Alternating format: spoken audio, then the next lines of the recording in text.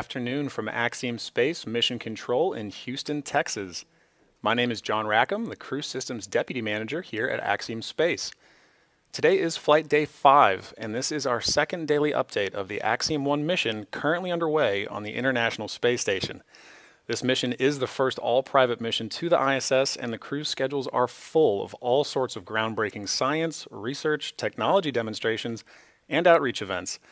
Today, we're going to learn a bit more about the science and research efforts that are currently in play. But before we do, let's introduce you to the crew. The AX-1 mission is commanded by retired NASA astronaut Michael Lopez Alegria, a Spanish American who was born in Madrid, Spain, and who is also called Mission Viejo, California, as well as Boston, Massachusetts, home. Michael is a U.S. Navy captain and has flown three times aboard the Space Shuttle and once aboard Soyuz. In 2021, he was inducted into the Astronaut Hall of Fame. The pilot for AX-1 is Larry Connor from Dayton, Ohio.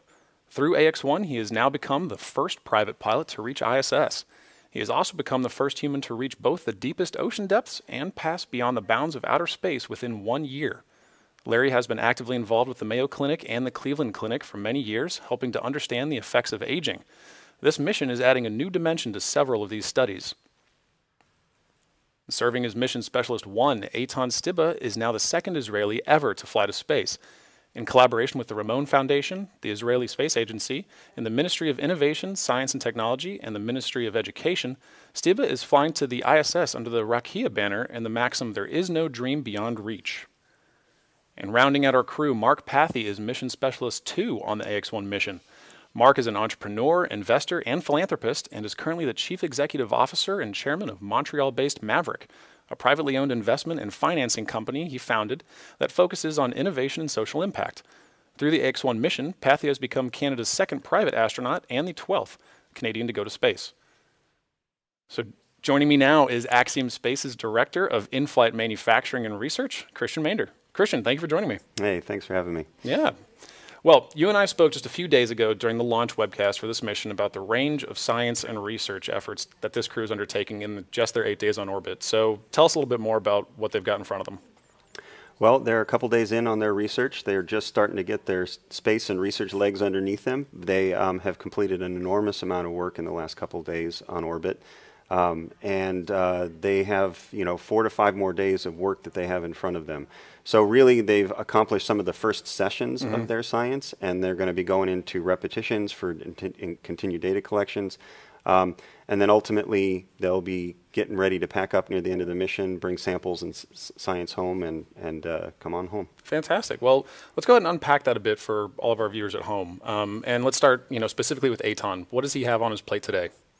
Well, it's been a busy day. I actually brought some notes just to be able to keep up with it all. Um, uh, some of the cool things that Eytan did today were um, he worked on a project called Fluid, Fluidic Space Optics. Hmm. It's a project where you actually are using microgravity and the, and the, the physics of surface tension okay. to take a polymer that's a liquid and put it into a frame to form a spherical lens. It's not unlike kind of putting a bubble yeah. on, on, a, on, a, on a bubble wand mm-hmm. when you're a kid.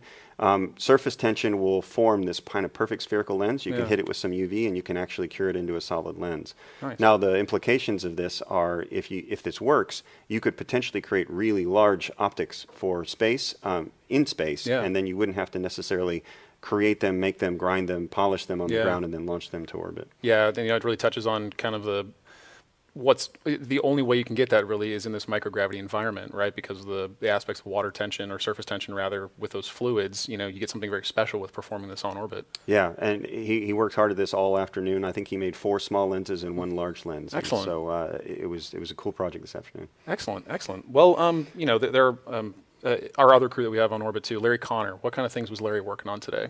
So uh, Larry focused on today. He focused on conducting a project called Neuro Wellness. Okay. Um, it's basically a way to look at can you measure cognitive performance and hmm. brain activity in space. So he actually has this helmet-like looking device that has full of sensors that measure brain activity. And he wore that today, and he's going to wear it for a couple more times on orbit to get um, some measurements to see how uh, microgravity affects brain activity. Okay. And uh, yesterday, he did a really amazing project with him and Mike LA worked on this together. Uh, it's called Aging and Heart Health, but he was working inside the life science glove box on the space station where he was actually feeding live cells that he brought with him on oh, wow. the mission. Uh, these cells are, are aging cells and also cardiac stem cells, and then it's looking at the implications of how microgravity affects both of those kinds of biologies and what, what are the impacts from a microgravity perspective. Great. So one of those, you know, an example of some of the, um, uh, you know, physiological and, and medical research-based uh, type experiments that he was really, you know, touching on before his mission. Yeah, what's kind of cool is for this project that we're looking at stuff like this at a cellular level, Okay. but then we're also looking at it at a human level by doing some measurements before and after and during flight as well. And so that data combined with the cellular data may Hmm. reveal some really interesting intersections. Nice. Excellent. Well, you know, moving on. Um, wh- wh- what does Mark Pathy's day look like? Well, let's see. Mark uh, had a busy day. He did some Earth observations today uh, for uh, targets in Canada and around Canada. And then um, one of the coolest projects that he is doing, he did the second session today and the first one yesterday. It's called holoportation. Okay. It's actually an activity where he wears these augmented reality goggles and through um, through the connections through satellites and through passing through massive num- number of firewalls between between NASA and the ground, we are able to port a, a three di- three dimensional uh, figure of someone on the ground talking to him, and so vice cool. versa. We're able to port Mark down to the ground to someone wearing the same hardware on the ground. So they're basically having a conversation in person. Excellent. And so you said this was the second. This was the second, um, uh, I guess, iteration of this particular. Yeah, so they tested the technology for the first time yesterday. Okay. Today they had kind of a friends and family event, if I'm not mistaken, and uh, they were able to talk. Um, they were able to talk together, and then what the the goal is ultimately to drive to drive this technology towards use for long duration exploration of Excellent. space. Because then, when you can create these personal connections, you can do all sorts of things, including talk to friends and family, Mm-hmm. Yeah. but maybe even talk to your physician on the ground when you're having an issue, and you can better diagnose what's going on. Right. It's kind of it, to me. This is a really good example of something that you can see the immediate impact and benefit of. You know, being able to build something, or you know, try this out the first day, establish a good comm link with the system, and you can see throughout the mission how they're going to build on this to get an immediate result by the end of the mission. That's really good to hear. Yeah, so NASA had done the one-way holoportation, and we were the we're the first flight to do the two-way holoportation. Mm-hmm. That's it's pretty- fantastic. Pretty, cool. Excellent. Um, one of the things you touched on earlier, um, you know, our commander MLA was helping out. I think you said he was helping Larry on one of his efforts. What, what are the things has, has Mike been getting up to while he's up there? Well, Mike's been helping all three of our crew customers Okay. uh, tremendously with their research. One of the th- most important things that he did today was a, a project called modeling tumor organoids. Hmm.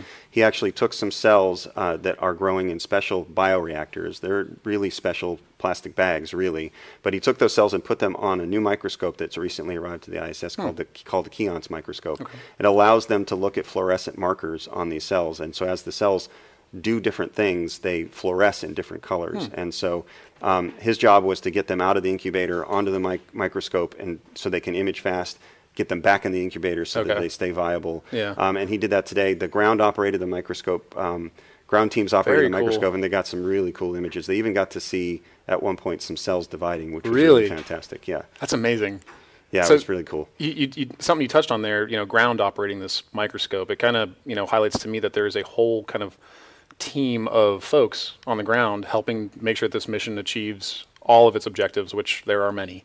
Um, so, what can you tell us a bit more about some of these, you know, ground these ground positions, some of these unseen support groups that we, you know, don't really get to hear a lot about? Um, but how are they helping the crew out on their orbit? Yeah, that's that's a great point. We have a, a control room over at Mission Control Houston Mm-hmm. uh, that's supporting the the mission activities, and so our operations lead is there, along with other leads that help manage the research and other aspects of planning for the mission. Okay. But here in the room behind us, we have a lot of our science teams and principal investigators that have joined uh, the mission today, playing Oh. as a backup room. But they are flight following in Really? a sense where they're following the crew uh, and the activities with all the monitors in here Okay. but they're able to be in the ear, so to speak, of the front room and help them guide the crew along the way through their activities on orbit, answer questions if they call down. Oh, it's excellent. So the PI or the principal investigator can be basically directly involved, um, looking over that shoulder, like you said, making sure that you know this this research is being done the way that it needs to be done, but they're doing it all from the ground. Um, but they're working pretty directly with crew to to make sure that that that those objectives are achieved for that research. Right. So the principal investigator can be here with us. Um, in the future, they could also be remote. Um, Okay. Uh, in some places where they can be working from their home base, talking to our back room and being part of the mission. Um, ultimately, I think what we hope to enable with Axiom Station along the way is some direct interaction with the principal investigator and or the operator of the, Okay. some platform on orbit with the crew because cutting down and uh, cutting the middleman out of that conversation often is going to make it a lot easier and a lot faster to do operations. The space station program has tried to do some of that along the way and still does, but we hope to make that an operational. Mm-hmm. Oh, fantastic! Yeah. Excellent. Um, well, you know, you you you, had, you touched on some of the folks over um, uh, in JSC's mission control are really working kind of more of the mission planning, um, specifically the Axiom team working the mission planning. Um, you know, and it just kind of highlights that this is a jam-packed mission. There's a lot going on, and we're about halfway through the mission. Uh, what else, you know, is crew planning for over the next few days? Well, we're going to see a lot of uh, repetition of sessions that we have started on. Okay. Um, a couple new technology demonstrations that haven't happened yet.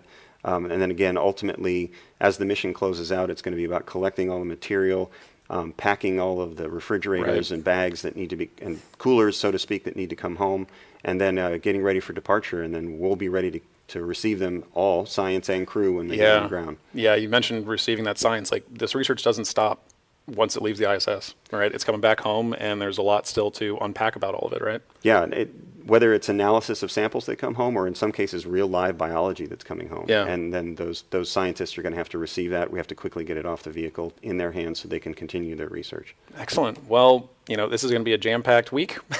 it's already been very busy for the crew, and thank you for joining us, Christian. We really appreciate it. Yeah, no problem. Happy to be here. Excellent. All right. Well, for now, the crew has completed their work schedule for today, and they are in their sleep period. So tomorrow we will have a special live downlink from station hosted by Space Center Houston. This will mark the halfway point of the AX-1 mission, and be sure you catch it right here live at 11:30 a.m. Central Time. For continuous updates, be sure to visit axiomspace.com. Otherwise, we'll see you right here tomorrow at 6 p.m. Central Time for an update on Flight Day 6. I'm John Rackham, wishing each of you and the crew of AX-1 a very good night.